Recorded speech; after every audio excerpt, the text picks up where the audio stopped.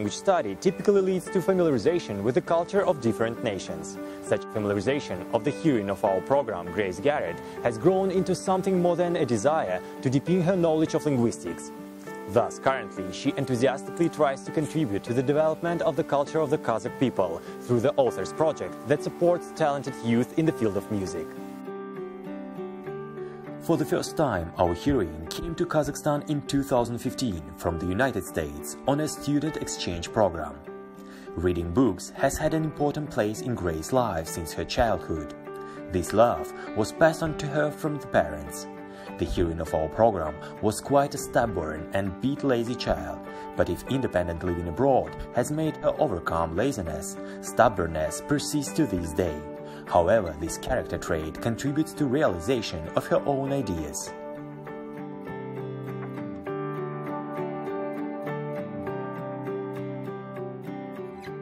Grace, you have been so far away from home uh, for such a long period, and I'm sure that you miss it.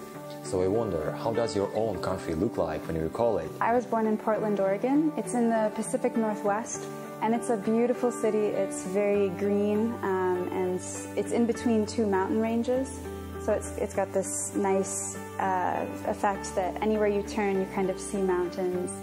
Um, and also anywhere you drive, within 30 minutes you'll be in the wilderness pretty much, or at least in farmlands uh, if you're in the valley. Uh, so a lot of people are interested in hiking, interested in outdoor sports, mountain climbing, biking, things like that. Uh, and I, I'm happy that I grew up in that kind of culture that values the outdoors, that values um, staying active. Plunging into your childhood, what memories warm your heart most of all, and how would you describe yourself as a child? As a child, uh, I think I was very imaginative, very creative, um, and curious. But then that also came with uh, sort of bossiness. I, I always felt like I had the best ideas for games, and I wanted everyone to, you know, see my vision and follow my lead. I was in love with stories, telling stories, reading stories. Um, we have a bunch of cassette tapes. Um, I had this little cassette tape player where I could record. So I'd take an empty cassette, I'd put it in, I'd record, and then I'd just go wild, like making up stories and singing songs, making up songs as I go. When I was younger, nobody really had a cell phone, so I'm glad that I, I kind of had that uh, silence around me, digital silence a little bit. You know, we I watched movies, I liked movies, I had my cassette player, but um, I had a lot of time to read. I had a lot of time to play outside in the garden with my friends. But we have a lot of music festivals, a lot of um, literature festivals, theater festivals. Those are very popular. My favorite theater festival is actually not in Portland exactly, but um, in a little further away. It's in Ashland in the southern Oregon, and it's a Shakespeare festival. I go there every year uh, with my godmother to see some Shakespeare plays. It's a beautiful, cute little town. So I think that's something I really value about my childhood. My parents are both very creative and adventurous people. My mom painted our house this interesting orange color, like a pumpkin, and uh, it really stood out because all the other houses around are kind of, you know, beige or light yellow or gray, and then there's this little fairy tale cottage. It was very cute.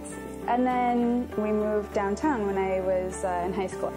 It was a huge change for me in my whole life um, because so my dad became a pastor and he was given um, this beautiful stone church in the city center, a very historic building, very, very beautiful, important building in Portland's history. And next to it is um, a house, one of those craftsman Portland style houses that was built for the original pastor. And best of all, the, the, the church itself, it looks kind of like a castle. So during the summers when it was hot, uh, we didn't have air conditioning, so I used to, to stay in this kind of upper room in the castle that was under the bell tower. And I, I just felt like a princess in a tower. It was so, it was so wonderful.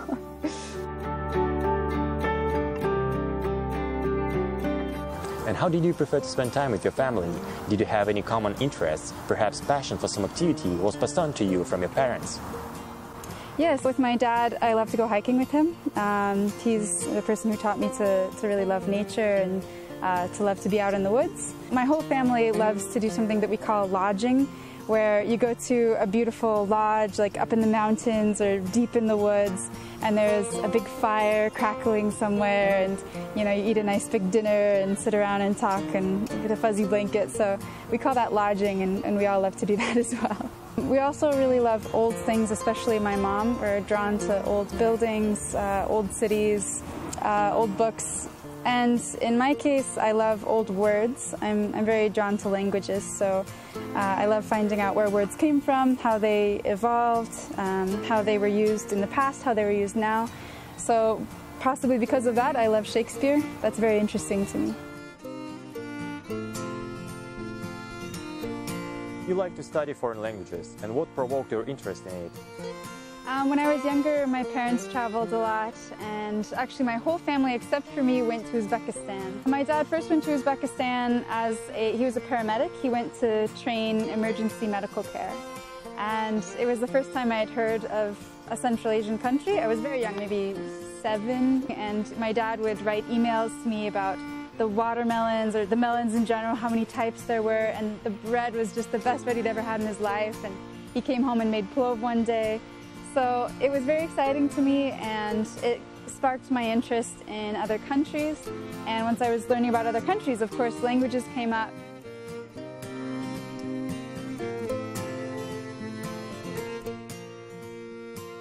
Why did you decide to devote yourself to such a sphere as international relations, and what steps did you take to achieve this goal? Since I was really little, I was very fascinated by the differences in, in, cultures, and I like to travel to different countries.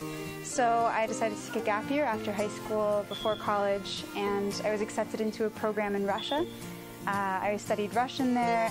Can you say that you have succeeded in studying this field? Well, while I was in Russia, I didn't get very far with my language. The program had to end early, and uh, I left. And also, it was just, it was my first time living abroad, and it was a lot harder than I'd expected. I missed my family a lot, and I, because I didn't speak Russian, I had a hard time making friends. And then also, um, in general, I found that people were a little more closed off there. You know, there would be questions like, you know, what are you, what are you doing here? Are you a spy? Everyone would always ask me, are you a spy? So you know, I, they were just joking, but still, you know, it, it, was it was hard to make friends without having my nationality. I was very disappointed that I hadn't gotten to the level of Russian that I was hoping to achieve, so I I wanted to continue. But there already weren't really any opportunities for me in Russia. Um, the program had closed down there. So I found out about an opportunity in Almaty in Kazakhstan, and that's how I first came here. After completing education in the Kazakh National University, our heroine returned to the United States. Upon graduation from college, Grace decided to take a couple of years off before continuing her studies in order to know exactly what way she should go further. The heroine of our program followed her desire and went again to Kazakhstan. Currently, in the city of Almaty, she works as a teacher in a high-tech academy. And how did it happen that now you teach the English language through music? How does this process actually go? They were looking for um, an English teacher who would not just, you know, give the children a textbook and teach them grammar, you know, learn A, B, C, D, and you know, you graduate or something. Um, they were they were looking for people who could bring some other activity, something something active, something engaging, something creatively engaging um, that kids could connect to. Okay, that's a much longer story. Um, uh, I guess this, that would be the story of not how did I learn become a teacher of, of English music, but more just how did I come to um, be involved with music here. The first time I came, I met people from the U.S. consulate here, and they were organizing a small concert that I participated in. I sang some songs in English and Russian on my ukulele. People had took an interest in foreigners who were living here who uh, appreciated local culture. So because of that, I think because of, you know, they could see that interest, they invited me back to perform at a much larger festival. And for this festival, uh, I wanted to do something different, um, so I learned a Kazakh song. Just the first time I heard it, I fell in love with the song. It's so beautiful. It's Kuzumun. Learning that song is when I started to also become very interested in the Kazakh language. I realized how beautiful it is. And uh, I was also invited to perform for the Constitution Day Gala concert in Astana. It was funny because they contacted me through Facebook. So I thought, oh, this is a joke, you know, someone's just messing with me. So I, I, went up to Astana. I was the only foreigner there. It was a fantastic experience. Eventually, I was invited again in Astana to meet the president and uh, play for him. It was really interesting to, to, to, to meet the president of a country. Unusual. That was all the start of, of how I came to be involved in, in music in, here in, in Kazakhstan. Dudarayam dudam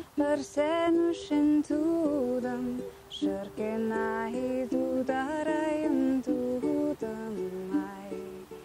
Dudarayam dudam, Persenušen tudam, Šarkenai dudarayam dudam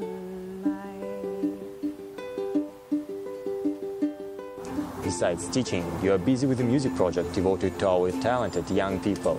Can you tell us more about it? Uh, my program is called Next Notes. That title is taken from the idea of next steps. So we try to give musicians who are maybe towards the beginning of their musical career the whatever skills or connections or inspiration they need to go further, to take the next step further in wherever they are. So for some people in our program last year, um, they hadn't had a lot of performance experience in front of a live audience, so we provided them with that. For some people, they'd never been in a band before, so we had them create bands. Um, our biggest goal is to have more original music.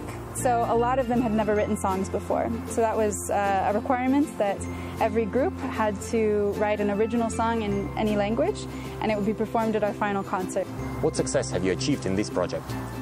It was almost more of a success than I expected it to be. Last year, the songs turned out very well. We created an album of, of original songs. The concert was packed, more people came than we expected.